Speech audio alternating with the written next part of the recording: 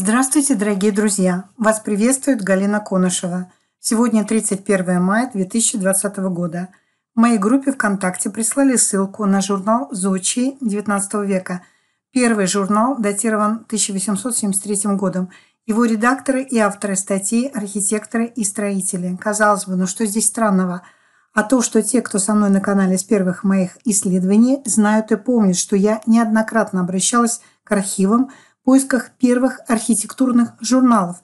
Особенно меня интересовало происхождение отдельных зданий, что в Москве, что в Петербурге или других городах. Интересовала дата постройки с нуля, то есть с котлована, с фундамента, а не те датировки, которые нам подсунули как начало строительства не только отдельных домов, а целых городов. Но сегодня мы видим, что датировки идут от начала восстановления отдельных домов и городов. Такой, например, дом Пороховщикова на Арбате или город Владивосток. Смотрите на моем канале историю по этим сюжетам. Так вот, возвращаюсь к зодчему и рассматриваю первый журнал. Нахожу здесь очень много любопытного, что мне говорит сквозь строки о том времени. Допустим, примем на веру, что журнал выпущен именно в 1873 году, а не позднее намного. Допустим, журнал именно этого времени – и сквозь эти строки я вижу, что действие происходит после серьезной паузы, каких-то странных катаклизмов середины XIX века, а именно после Крымской войны и 1860-е годы. То, что я предполагаю, был засып городов глиной. Странные пожары в 1862-1864 горит Петербург, горит Симбирск, так, что его заново перепланируют. Поджигателей не находят. Не те ли эти пожары, как в Калифорнии, Сан-Франциско, Чикаго 1871 года и современная Калифорния, Греция и леса в Сибири? Это однозначно поджоги, но пожары странные. Горят даже каменные здания, а деревья могут оставаться невредимыми. Поджоги осуществляются сверху с летательных объектов, как на литографии пожара в Чикаго. Ну, некий такой лазерный луч. То, что это все возможно было в XIX веке, что существовала третья сила, которая периодически устраивает хаос и разруху отдельных мест и городов. Все это очень много в моих фильмах, следы этой третьей силы. Это не только в моих фильмах, но и в фильмах других блогеров. Материала очень много, доказательной базы очень много. А вот Симбирск, мне попадается информация по ходу. Август 1864 года был в Симбирске сухим и жарким – 13 августа начался пожар на Дворцовой улице, когда загорелся один из сеновалов. Огонь угрожал зданию городской думы, Спасскому монастырю и дому предводителя уездного дворянства Языкова, но пожарные смогли их отстоять. К ночи пожар потушили, сгорело менее 10 домов, в том числе 4 каменных, горели каменные дома – 15-тысячно-страничном докладе Сенату 1869 года констатировали, что найти виновных не представляется возможным. А вот Барнаульский пожар 15 мая 1917 года, который сопоставим с пожаром Москвы 1812 года. Эти пожары аккурат совпадают с разными политическими событиями, сменой строя, войнами и переделом собственности как отдельных регионов, так и огромных территорий стран. Общего в них то, что виновные не найдены, неизвестно. Конечно, ведь нельзя назвать третью силу с летательных аппаратов лазерным лучом, поджигая с удивительной снайперской точностью, виновными. Засмеют. Это же не вписывается в мировую историю. Нет же никаких конспирологий и заговоров. Все само по себе, просто стечение обстоятельств неудачное. А теперь я перехожу к рассмотрению журнала «Зодчий» и тех странностей сквозь строки, которые при внимательном чтении обнаруживается множество.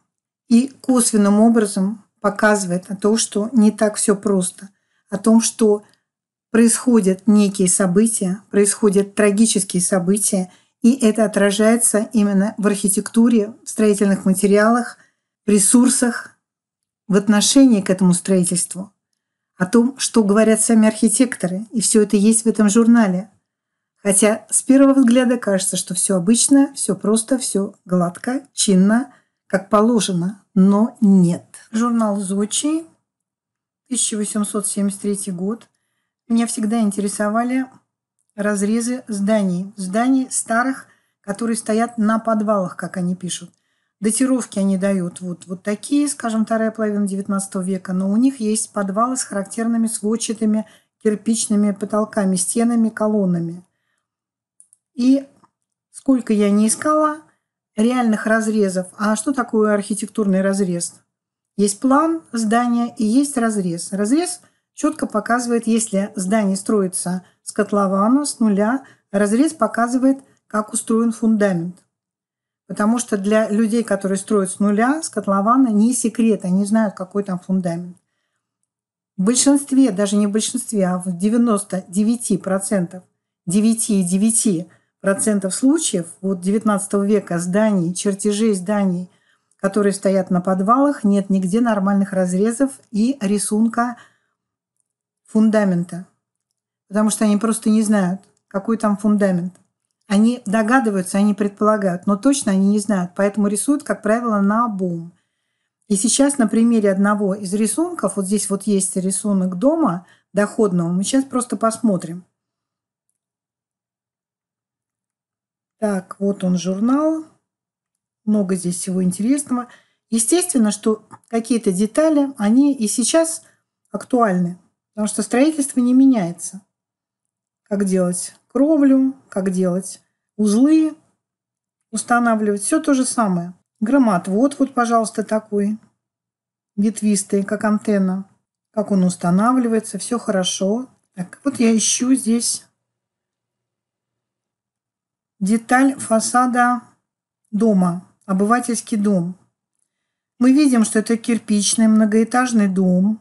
Он на самом деле многоэтажный. Кстати, листая этот журнал, как дополнение смотришь на название, на фамилии, и сплошь одни русские фамилии. Известной фабрики господина Карла Христофора Шмидта, склад у господ Вагау, вот дом Утина, Риккера, профессора Беланже, архитектора Сальманович, Дилев, Клейш Гауэр, Ю Буш, Матисен, фабрика Матисена – обойный магазин Г. Гечи, бетон системы Куанье, паровая фабрика Шпигеля на Песках. Вот интересная улица, на Песках. Есть план частного дома барона Штиглица. Есть просто план, часовня, вот у часовни разрез и совершенно неизвестно, что там с фундаментами. Есть план, план легко измерить, разрез видимый разрез тоже легко измерить и сказать, какой он есть. А вот с фундаментами тяжелее, потому что они под землей. Они не показывают фундаменты. Вот здесь тоже непонятно, что с фундаментами. Совершенно непонятно. На обум нарисовано. Нарисовано просто по логике вещей. Вот что есть опорные стены, и под ними должно быть опорный фундамент. Непонятно. Что еще можно увидеть по этому журналу «Зочи»? О том, что торговля идет по всей Европе. Такое ощущение, как будто нет границ вот между Российской империей и той же Германией, Англией, Италией. Это везде написано как само собой разумеющееся, что они, они обсуждают в своем же архитектурном обществе, например, итальянские, пражские, дизайны. Не, тогда это было не дизайны, а интерьеры. Как само собой разумеющееся, как будто это где-то происходит вот в соседнем городе. И вот здесь, пожалуйста, с пересылкой за границу. Германию, Австрию, Бельгию, Голландию, Придунайские княжества, Францию, Данию, Англию, Швецию, Норвегию, Испанию, Португалию, Турцию, Грецию, Швейцарию, Италию. Подписка этого журнала. Кстати, здесь еще интересная вещь. Употребление рельсов при постройке сводов то есть тех самых двутаврах. Это значит, можно делать плоские потолки, потому что до этого были кирпичные сводчатые потолки. Появляются двутавры, идет расчет, сопромат, то есть люди грамотные, вот они формулы, рассчитывают нагрузку на эти балки железные, рельсы так называемые, из которых делается опора. А до появления этих балок получается, что были только кирпичные сводчатые потолки. Пока дойду еще до подвалов, вот что мне встретилось, на что я обращала внимание в своих фильмах в том числе. Так называемый русский неорусский стиль, который появляется именно во второй половине XIX века. Вот здесь записано В состав журнала войдут следующие отделы исторические, в котором на первом план выступит исследование отечественных древних памятников. Второй. В связи с этим отделом редакция находит необходимым посвятить особый отдел исключительно русскому стилю, разработка которого лишь в недавнее время начинает занимать подобающее место в нашем искусстве. Поэтому в этом отделе войдут как старые, так и новейшие постройки, исполненные проектирования – а также утварь, мебель и прочее. То есть они занимаются разработкой именно русского стиля. По всей видимости, до этого не было какого-то отдельного русского стиля, а была какая-то общая архитектура. При этом в журнале очень подробно описаны стоимости работ. И видно по журналу и по речи, тому, как они об этом пишут, что трудозатраты учитываются, и все очень дорого, и строительство дорого, что, в общем-то, логично. И сегодня то же самое. Для того, чтобы построить что-то, нужно затрат, нужны большие ресурсные затраты. Но когда мы видим архитектуру прошлого, 19 века, 18 века, такое впечатление, что там совершенно какие-то другие ресурсные возможности были в том же 19 веке. Но глядя на то, как они это пишут, кажется, что да, все, все сходится. Но когда ты смотришь на факт, вот на натуру, на эти здания, роскошные здания, не сходится. Потому что здесь все на лошадках. На лошадках и вручную. Ну, потом появляются правые машины. А так все вручную.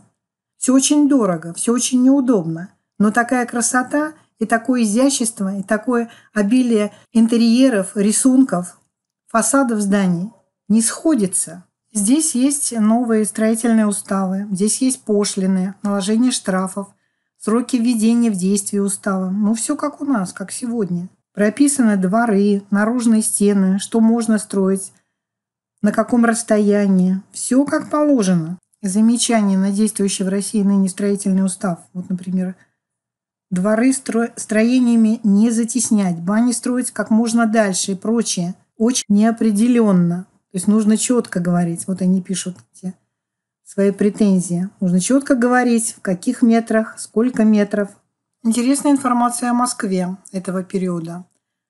Корреспонденция из Москвы. Письмо к редактору. Кто 5-6 лет не был в Москве, тот найдет в ней весьма много перемен, как в частности, так и в общем характере города. Положение Москвы как центра, или лучше сказать, узла железных дорог, направляющихся с окраин и внутренних местностей России, неизбежно повело к быстрому возрастанию городского населения, а вследствие того к увеличению числа помещений – Должно, однако, заметить, что хотя приливы населения к Москве не требуют расширения границ города, потому что она теперь занимает такую обширную площадь, на которой, не теснясь, может поместиться двухмиллионное население. Но все же ввиду прогрессивного роста городского населения придется покинуть старую манеру строиться, раскидывая на обширных пустынных небольших малоэтажных здания. Действительно, теперь такой поворот уже намечается – так в центральных частях города и близ станций железных дорог начали вырастать громадные дома в 5-6 этажей, от которых не отказалась бы любая европейская столица. Для примера дом Пороховщикова. Но это не тот дом Пороховщикова, который на Арбате, это другой какой-то дом. Здесь интересно то, что Москва имеет теперь такую обширную площадь, занимает. Интересно. То есть меняются границы Москвы. Почему вдруг? она такую обширную площадь занимает, непонятно. Но вот такой момент написан в этом журнале.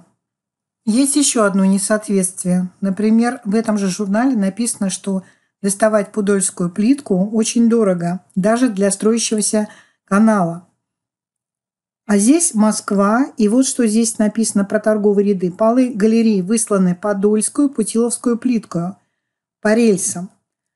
Галерея В параллельная Никольской улице, устроена подобно первым, стоит только разница, что она покрыта полом не во всю ширину. Подвальном этаже расположены комнаты для торговли чаем и съестными припасами, так что известным молодцам сладками, наполненными всякой провизией, тут, тут делать будет нечего. Вот здесь Путиловская плитка доставлена в Москву. Каким образом она доставлена? Для того, чтобы сделать торговые ряды. Далее, про подвальные этажи. Подвальный этаж освещается, во-первых, посредством сделанных в соединении полуотверстий, посредством сделанном в соединении полуотверстий в один аршин шириной, покрытых железными решетками со стеклами. Через верх освещается первого этажа. И в этом же журнале спустя несколько страниц по поводу Путиловской плиты здесь сообщается, после сообщения господина Кураедова по новизне интересу предмета живо заинтересовавшего собрания следовало чтение господина Петлина о плитных материалах и о разработке их обществом Путиловско-Антоновских ломок.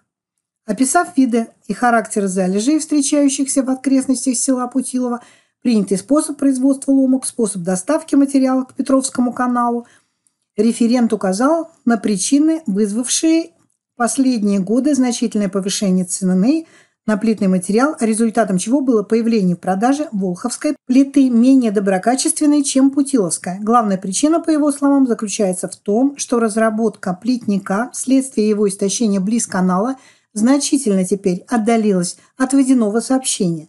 Для нагрузки на суда теперь приходилось подвозить материал на лошадях, а стоимость такой перевозки, производимой обыкновенно зимой, обуславливается состоянием дорог и, и расстоянием и обходится теперь до 10 рублей на куб сажня. Это обстоятельство и побудило многих промышленников заняться разработкой волховской плиты, добывание которой обходится дешевле. Так вот, Путиловская плита как ее сложно добывать, как ее сложно доставлять даже к местному Петровскому каналу, но почему-то она попадает в Москву. Каким образом? Непонятно. Как, сколько тогда она стоит, если она ее использует, эту плиту для интерьера галерей, торговых галерей. Это должно быть очень дорого, очень дорого. Дальше еще какие ресурсы Общество Путиловско-Антоновских ломок, владеющее значительными залежами лучшей плиты, отдаленными почти на 7 верст от канала, решило облегчить доставку груза посредством проведения от ломок к каналу конно-железной дороги. Конно-железной.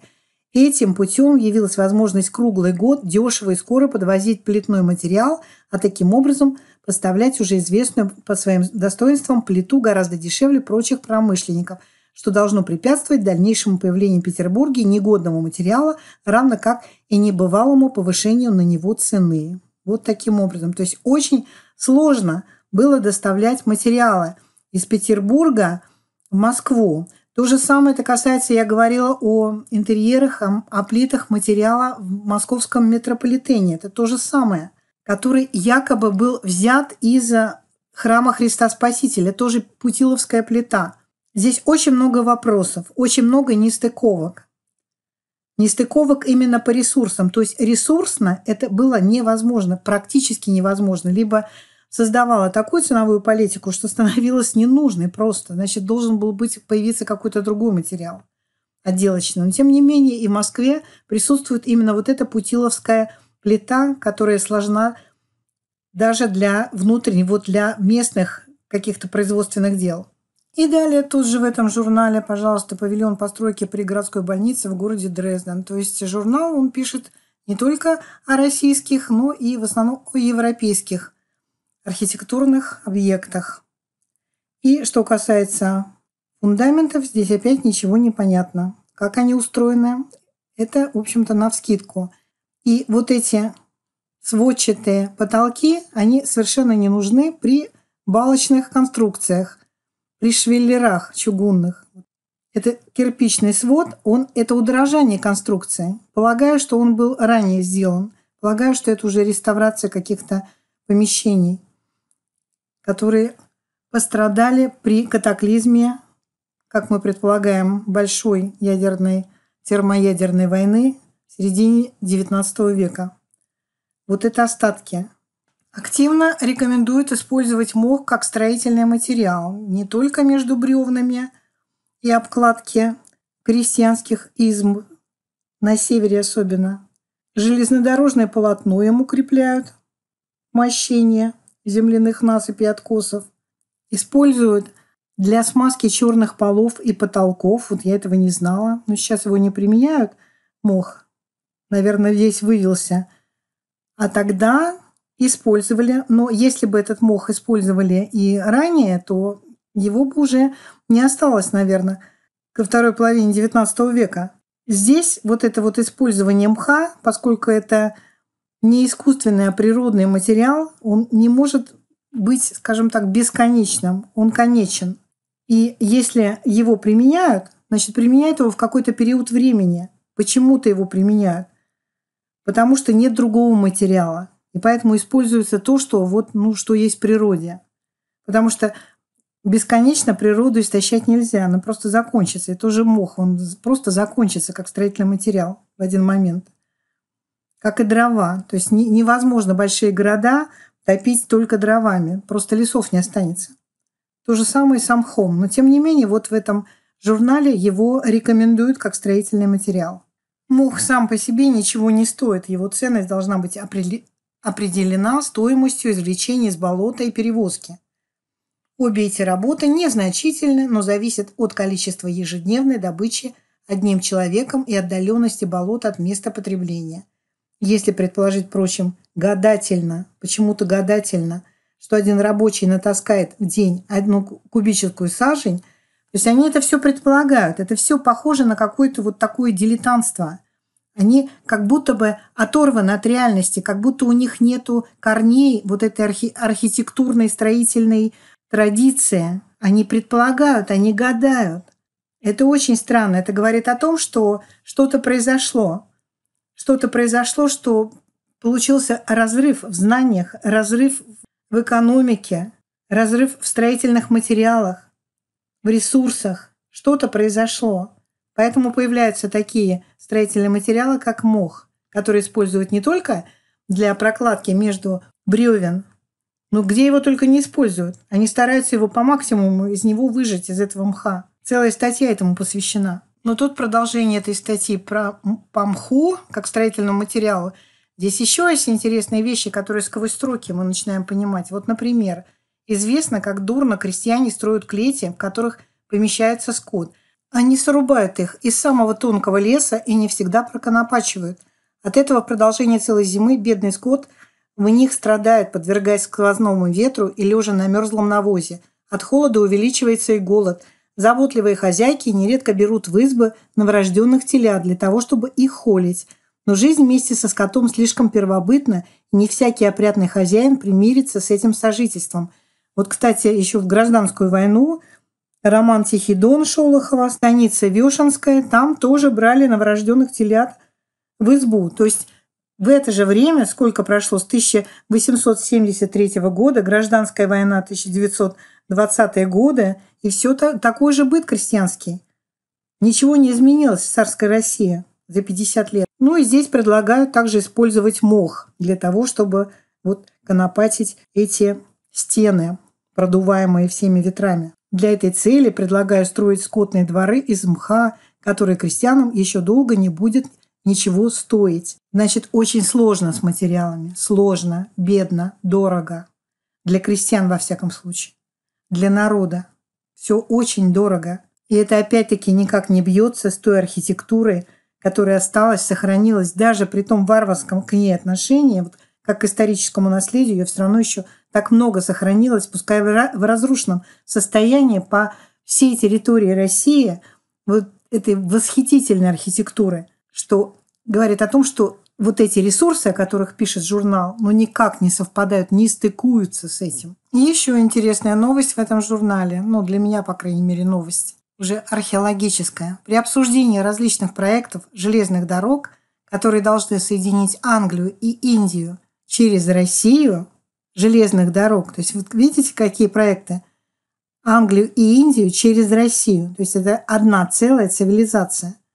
И через долину Ефрата нельзя не обратить внимание на донесение английского консула в Дамаске, который указывает на открытие древнеримской дороги от Байеры в 100 верстах на юге Дамаска до Буссары на Персидском заливе. Это древнее шоссе до того прекрасно сохранилось, несмотря на то, что ему более двух тысяч лет, что не требуется никаких земляных работ для укладки по нему шпал и рельсов. Нормально? Ну, насчет двух тысяч лет это они загнули.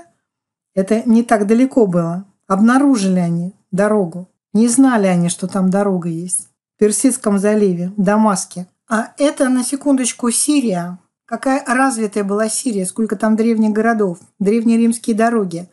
И для царской имперской России соединить нужно было Англию и Индию через Россию. А как насчет Крымской войны? Вообще-то воевали с Англией, с Европой, с французами. Это говорит о том, что во второй половине XIX века Российская империя, царская Российская империя, она проректорат английский, то есть английская колония. И сегодня она тоже англосаксонская колония Российской Федерации. То есть вот они, триколоры тут же. Все для Англии, дорогой, делается. Еще новость, которую я хотела сказать. Петербургский листок слышал, что на ремонт Исаакиевского собора ассигнована сумма в 690 тысяч рублей.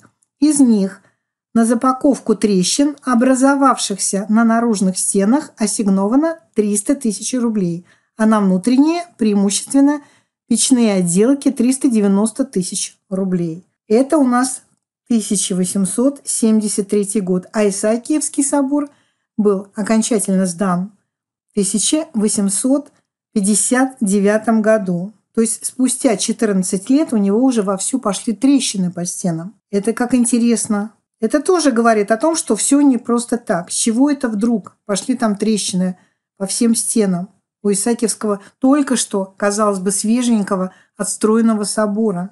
Здесь очень много всего интересного, но я завершаю свой фильм. Сейчас найду еще чертежи, чтобы показать, что, что не так. Что не так. Это о ресурсах. В этом же журнале «План загородного дворца» Боржом, Кавказ.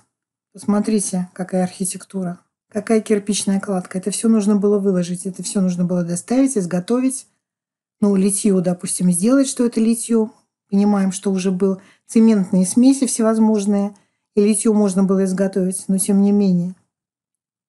Сколько нужно было затратить труда, средств для того, чтобы сделать такую красоту. Деталька интересная. Труба, видимо. И то, что я говорю по разрезам есть подробные разрезы, но нет ничего по фундаментам детской больницы Альденбургского. И вот, казалось бы, вот эти нестыковки, вот эти какие-то гадания в отдельных местах, и в то же время грамотность, инженерная грамотность, вот, пожалуйста, расчет балок, то есть люди знают сопромат, все четко, они, они не, не дурачки какие-то, это инженерные люди, инженерные мысли – и в то же время в отношении отдельных вещей какие-то странности происходят. В отношении именно объектов архитектуры странности происходят. В отношении строительных материалов странности происходят. А знания, они остаются. Знания – это вечное. Сопромат – наука вечная. Как говорил наш преподаватель Чарушин. Он говорил, вашу архитектуру всю снесут к чертовой матери, а сопромат – наука вечная. Он прав. И расчет церковного купола, пожалуйста, интегралы. Знания какие? Эти знания не даются в один момент, это школа. Что же тогда, какие же проблемы тогда со строительными материалами и с объектами культурными, архитектурными? Вот ищу чертежи вот этого дома, фасад обывательского дома. И получается, что фасад он есть, и здесь мы видим, он стоит на подвалах. Это было описание, стоит на подвалах – многоэтажный кирпичный дом. Для, ну, скажем, вот, рассчитать тяжесть, это, это должны быть серьезные расчеты по фундаменту для того, чтобы выдержать вот эти кирпичные стены, внутренние стены. Это очень тяжело, тяжелый дом. И чертежей как таковых нет. Есть план, вот он план. Я не могу найти разрез этого дома, чтобы посмотреть фундаменты. Во дворе отдельно сделан ледник. Вот ледник, пожалуйста, разрез есть. Вот так, таким образом он сделан. А где же сам дом-то? А дальше тут у нас какие-то странные чертежи, рисунки, кресло, стол. А где разрез-то дома? Объявления какие-то идут. Следующий номер идет. А разреза нет. Сейчас попробую найти. Ну и вот практически в самом конце, да не практически, а в самом конце этого журнала, опять вот он выходит. Почему его так поставили, непонятно. Обывательский дом – деталь фасада, вот роскошный фасад кирпичный, и наконец-то идет разрез. Мы видим многоэтажное здание, и мы видим вот те самые подвалы, как было написано. Он стоит на подвалах. Теперь посмотрим, что по всей видимости, они не знают, какие на самом деле там фундаменты. Потому что они прорисованы просто по логике вещей, что вот здесь несущие стены, опорные стены, соответственно, здесь должны быть опорные фундаменты. А почему они не знают? Потому, я так предполагаю, посмотрим на вот этот фрагмент подвала. Это потолок, это сводчатый потолок – кирпичные. Представьте, что это сводчатые кирпичные потолки, которые опираются на колонны.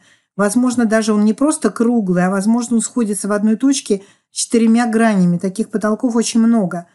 И в Москве они встречаются. Вот это, это, я считаю, что это допотопные дома, и вот такая структура, она характерна для даже 16 века. 16, 17, 18 века это точно. Уже когда появились балки, и швеллера уже стали э, строить плоские потолки. Но еще даже в конце XIX века, даже сквозь балки и швеллера, делали полукруглые, вот такие, ну, метровые где-то, метровые кирпичные все равно полукруглые своды.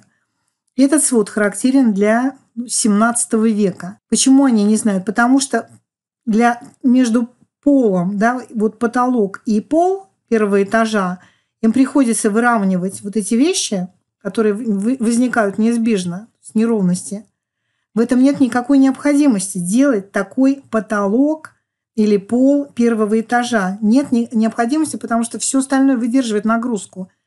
Потому что здесь он должен быть, в принципе, идентичен по строению тому, что межэтажное перекрытие таким же, как и вот во всех остальных этажах.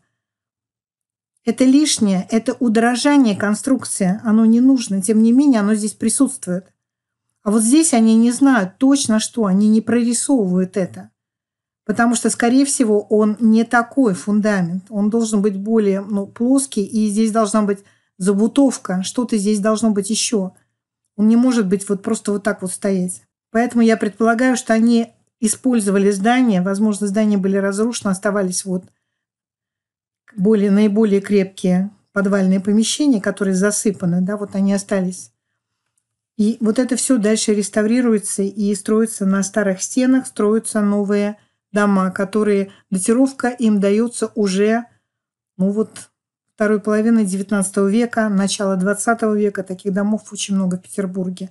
С закопанными окнами, но в то же время с датировкой начала XX века, что не может быть, поскольку закоп этот был – именно в середине XIX века, засып, закоп городов. Вот, собственно, то, что я вам хотела рассказать. Я думала, выйдет покороче, оказалось довольно длинно, в два раза длиннее, чем я ожидала. Но надеюсь, что вам было познавательно и интересно, потому что я как архитектор, имеющий образование архитектора, мне, конечно, все это вот интересно и тормозит мое внимание, и мне хочется все показать, все рассказать.